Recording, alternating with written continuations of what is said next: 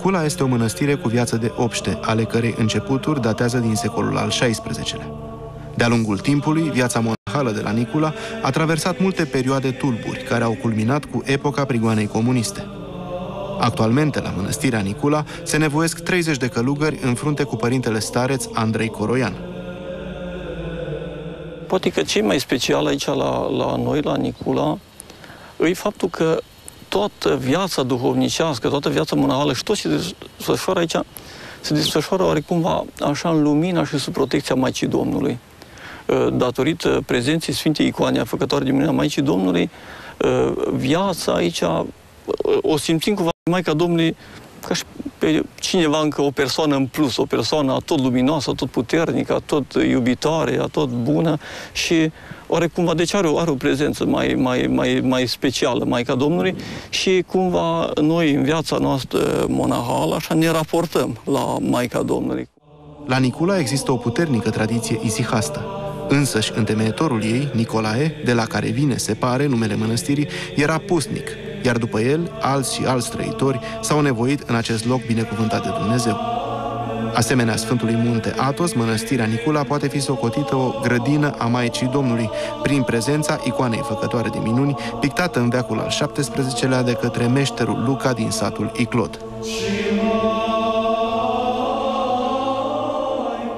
E o viață isihastă aici și, și cred că ăsta e specificul monahismului românesc și eu, de când am venit aici, atunci să mă gândesc cum a trăit pusnicul Nicolae acum 700 de ani, poate, și cum s-a trăit până la 1699, când a plâns Sfânta Icoană și când, practic, a devenit un loc de pelerinaj, Mănăstirea Nicula.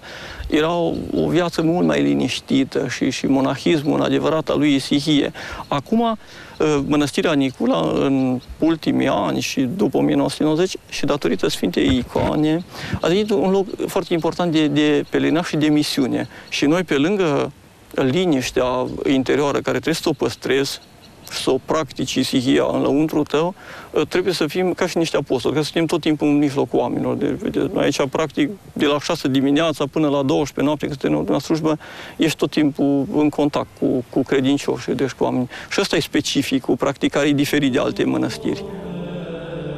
Odată cu trecerea anilor, Nicula s-a transformat într-un veritabil complex mănăstiresc, consecință activității social-misionare și administrativ-gospodărești promovată de actualul egumen, părintele arhimandrit Andrei Coroian și de predecesorii săi. Trei lăcașuri de cult, dintre care unul, aflat încă în construcție, intră în componența așezământului și împreună cu ele alte centre de cultură. Noi aici, așa cum ați observat, suntem cuprinși așa și prinși într-un amplu program de rectitorire a mănăstirii care e, e un program foarte vast, deci așa cum ați biserică nouă, corpuri de chilii, un, este casa de creație care este și reședința, a doua reședință metropolitană. Aici sus o să avem un centru de studii patristice și catehetice, în care o să fie adusă toată colecția sus cretien, Sfinții Părinți apreciază că la 200 de mii de, de cărți, de volume și care este în colaborare cumva cu Universitatea babeș bolyai din Cluj. Și aici se organizează simpozioane, întâlniri, studii și apoi mai avem încă pe latura asta de, de administrativă încă mult de construit, deci de, poate încă câțiva ani buni, 5-6 ani, poate și la, la biserică. După aceea va fi corpul monahal, care e o lucrare foarte, foarte complexă, mare, clopodnița mănăstirii, care va fi undeva acolo, așa, în mijlocul Poieni și poarta de intrare care va fi cu muzeu, magazine bisericești, va fi un ansamblu așa care va, va întregi deja așa la, la ce se vede până acum.